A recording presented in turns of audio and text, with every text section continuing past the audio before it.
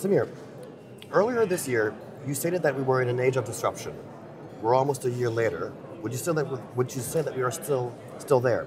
I mean, do you think societies can find a way to navigate the technological disruption of the fourth industrial revolution? The technology, the societies are struggling. I think the technology, the rapidity of change, the the, the breadth of change, the depth of change, is uh, making all of us struggle to keep up. Uh, I think there are three big baskets that are fundamentally changing even as we speak. The first is, uh, of course, uh, the politics. Yeah. Technology is reorganizing politics completely. Uh, it is producing new leaders, it is mobilizing communities, it is uh, changing the way governments control citizens, it is uh, adding a new paradigm to external interference. The politics that we knew no longer exists. The second big basket, of course, is around the economics. Uh, how you work, how you consume, how you trade, how you sell, uh, how you love. Uh, you know, the, there's a whole economic arrangement that has surfaced, which is remarkably different. Finally, societies. I think uh, tribalism is back, nativism is back. We have hashtags which are camouflaging this true, deep human guttural instinct, and I'm seeing technology bring it all out uh, into the fore. So I think all three big baskets have dramatically uh, transformed or are in the process of transforming, uh, and we are struggling. How do you see America first and the China dream coexist? Or not? As far as I'm concerned, I think we are going to see a, a, multiplicity of cold wars of the 20th century play out in the 21st. I think you're going to have a, a, a tech war or a tech trade war between the Chinese and the Americans. In 15 years' time, you're going to see a similar friction between the Indians and the Chinese. Mm-hmm. You're going to see some other geographies emerge in Africa. The Nigerians and others will come up with their own game. You're going to see a plethora of uh, these uh, contests play out in the 21st century. Uh, I think uh, the US and China, uh, and I can uh, argue that in the last one year we have seen something happen which is dramatically different. I think for the first time we are seeing in the US the main street, the people, uh, the deep state, the intelligence agencies, and the, the Congress all align, all agree that we need to change the business as usual with China. On the other hand, you're seeing the Chinese not back down. Yeah. You're seeing the Chinese yeah. uh, standing up, the Chinese countering the uh, American proposition uh, with uh, one of their own. Um, and I, th- I, I see this as a very interesting period you think it's going to be more about friction than coexisting or peaceful co- coexistence? Uh, I think coexistence is certainly going to be uh, achieved. Mm-hmm. I am not sure about the peaceful and frictionless coexistence. Okay. I think it's going to be coexistence for sure. You're going to have your spheres of influence. Mm-hmm. You're going to have your condominiums. You're going to influence people within those condominiums. Mm-hmm. Um, uh, the BRI is the Chinese proposition.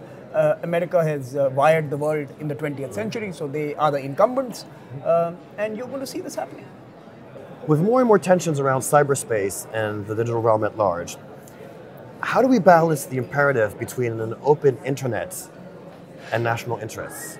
To me, a secure individual, which means privacy intact, which means expression intact, which means encryption existing, which means his data absolutely secure, is in, in part going to implicate the national security.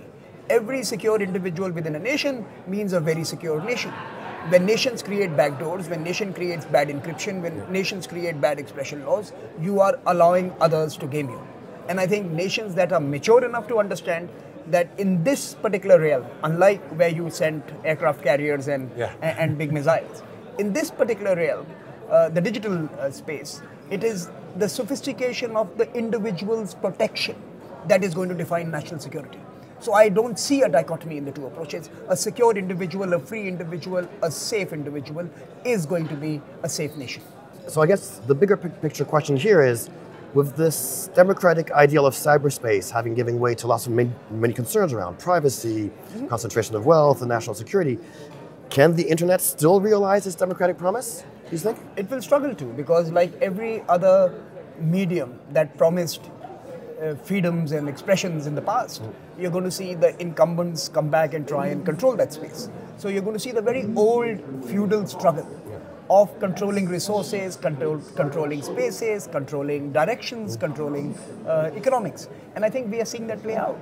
We are seeing big tech, we are seeing big states, we are seeing small states. All of them seek to do exactly this control spaces. I, I think democracy is under threat it is not necessarily a beneficiary of the technological revolution as it has unfolded in the last 10 years. I think it could be a collateral damage, a victim, in fact. What role do you think private technology platforms will play in the governance and security of these digital spaces? They are the ones who are governing the space.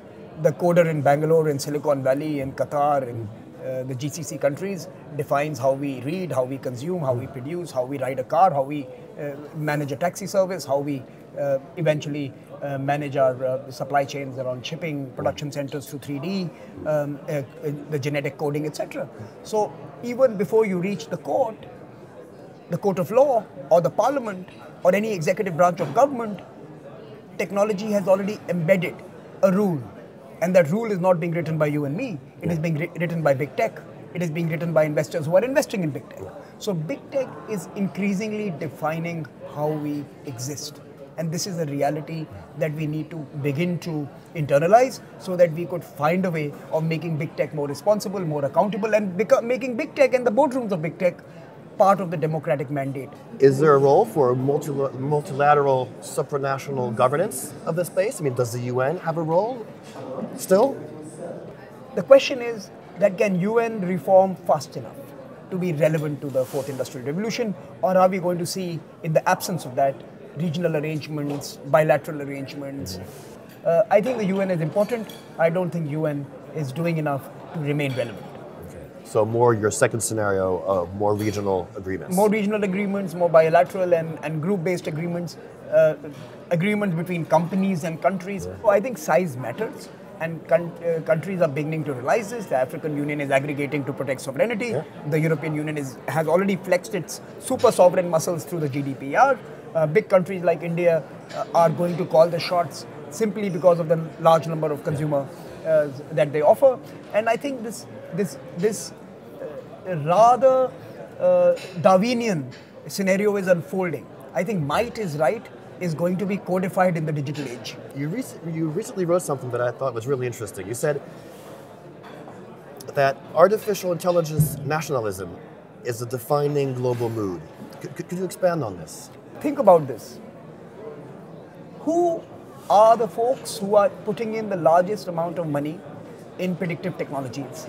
in autonomous technologies, in artificial intelligence. And you will find it is the DoD, the defense departments of all countries. The largest amount of spend, be it uh, uh, smart drones, smart submarines, be it uh, bots on the net, you will see a plethora of defense departments putting in huge amount of money. Now, this is not universal tech. When you build weapon systems, when you build defense systems, when you build offensive capabilities, it is meant to be insular and, inclu- and exclusive. It is meant only for you. I think that human nature of keeping uh, expertise, of keeping the, the leverage to one's own self is going to prevail. And AI is the, uh, the space where you're going to see this happen most rapidly. Do you think democracies can prove resilience in the face of polarization and populism? No, I think um, uh, uh one of the areas we have really struggled with is the information overload we all experience every yeah. day. I think the way we manage information is the single most important question for all governments, all citizens, all companies, and all institutions. Uh, I don't have an I don't have a template. Uh, some people believe that censorship might be an option, regulation might be an option. Some suggest self-regulation and technology itself could be an antidote. I think the jury is out. I think that we cannot apply 20th century learnings to this 21st century information age.